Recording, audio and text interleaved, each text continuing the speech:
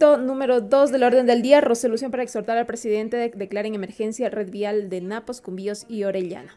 En este momento interviene la asambleísta Isabel Enríquez. La Amazonía y siempre hemos estado alzando nuestras voces por defender los justos derechos de este territorio especial.